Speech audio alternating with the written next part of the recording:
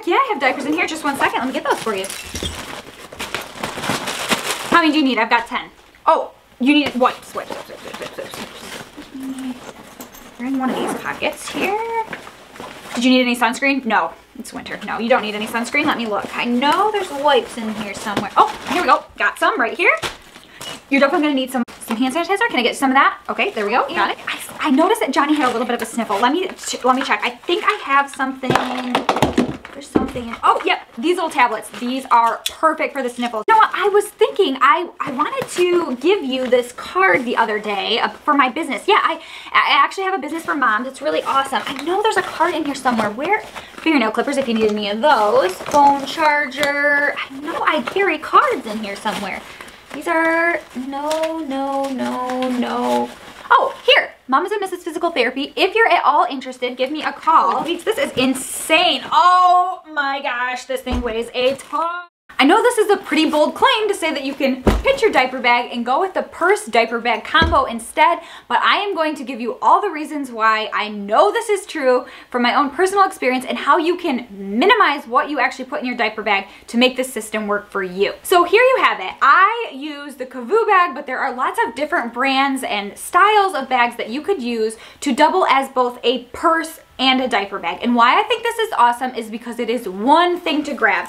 You can easily just throw this bag on and be out the door. You don't have to have a giant diaper bag on your back along with a purse hanging off your shoulder. And when you go to get everything out of the car, you realize you don't even have a hand for your kids. and that is why I think it is so annoying to have both, both a purse and a giant diaper bag. I will say you do want to make sure that you're not using your main bag that you would send with your kids if they were going to go with your significant other for the day, if you're going to send them to grandma's for the day, if you're sending them to daycare, make sure that that is a separate bag. And so I do use a bag very similar like to this when I am sending my kids out for the day or they're not going to be with me. And there's a couple of reasons for that one, they probably need a lot more stuff. Let's say they need um, clothes they can get dirty. They need winter clothes. If it's winter, they need milk or food for a long outing. So you do need a little bit more space in that situation. And the second thing is if you make the habit of putting your keys and wallet and things that you're gonna use in your diaper bag, and then you send the diaper bag with the kids, you're not gonna be able to get any of that stuff done that you thought you were because you no longer have a credit card or your license, which is kind of problematic. So just make sure that if you are keeping things like a wallet and keys and your phone in your purse diaper bag that that is something that is always going to stay with you and you have something else that you send with the kids when they're not with you. I have made this mistake. It's not great. So here are some of the ways that you can scrunch down all the things that you need. Like seriously, there's so many YouTube videos that are like the top 10 things you needed in your diaper bag and they're like fingernail clippers. I'm like, what? Why in the world would I need fingernail clippers if it's that much of an emergency situation? Like, I don't know. I've just never been in that situation, I guess. But there are some things that you definitely do need. One of those things is diapers. But instead of taking a whole package of diapers, which you might be tempted to do with a large diaper bag, you really only need one or two if you're going for an outing, depending on how many kids are actually wearing diapers. So for me, if I'm going to the grocery store, I take two just to be safe. I probably only need one, but two just in thing, case things get crazy. And I take a pair of Mickey underwear for my little guy that is pretty well potty trained, but accidents do still happen. So I want to be prepared in that situation. I don't want to feel like I'm scrambling because I don't have what I need, but I also don't want to feel like I'm digging through this giant bag which has 50 outfits in it and I just went to the store for a couple of hours. Something else I feel like I definitely do need in my bag is an extra shirt or um, outfit for my little guy in diapers, especially when he was little. We were having poop explosions all the time, like all the time. And so I always needed an extra pair of clothes for him because you just never knew when nature would call. A heck though, if you have, you, you aren't prone to poop explosions and you have a kid that's potty trained, so the likelihood that they'll need a change of clothes is pretty low.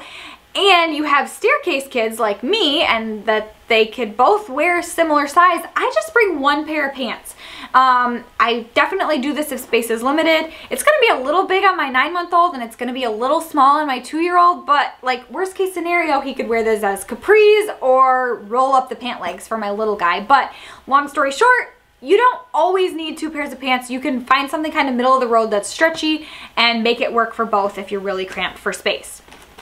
Wipes is another way that you can save a ton of space. You don't need a giant pack of wipes. If you're just going out for a couple hours, this small stack of wipes is going to be plenty for what you need.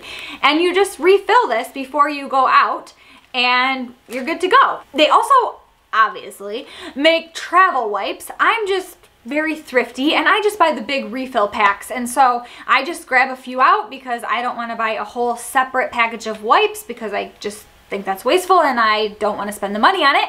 Um, so I just use a Ziploc bag. It's really simple.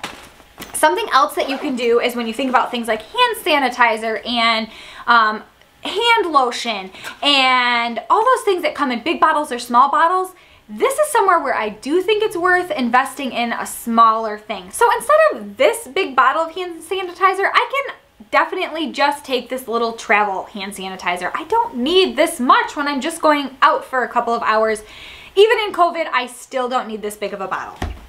Something else like diaper cream hand lotion, when it comes to a giant bottle or just the travel size bottle, the travel size bottle is well worth the money. Just keep it in the diaper bag. It doesn't take up as much space. It's not as heavy and it's so great. As far as snacks and things like that, think of small snacks instead of a big sandwich container. For instance, maybe you're just going to take a bar or instead of the whole pack of goldfish, you're just gonna put a few in a plastic bag and that's something that you always keep in your bag.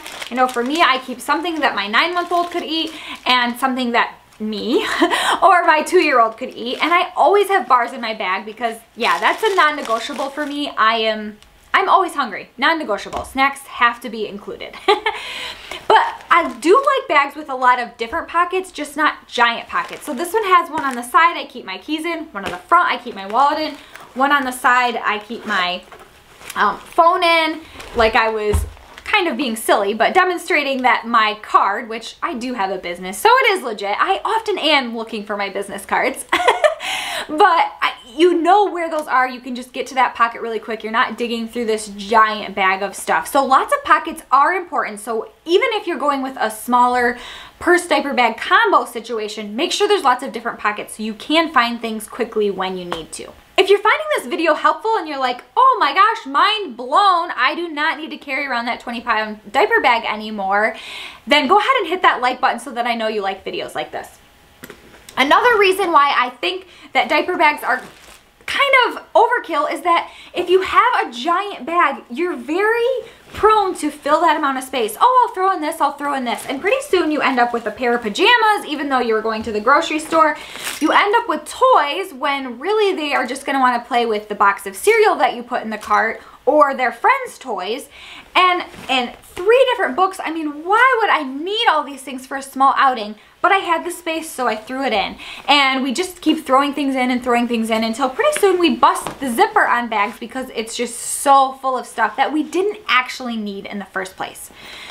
So there you have it. That is why I would suggest using a purse diaper bag combo instead of just having a giant diaper bag and why I think it's kind of a waste of space and energy to carry around a big diaper bag. Well, If you're anything like me, you're struggling with all the mom things. So on this channel, we're all about solving those problems, including how to make things a little bit more spicy in the bedroom. Thanks so much for being here with me today, and I will see you all in the next video.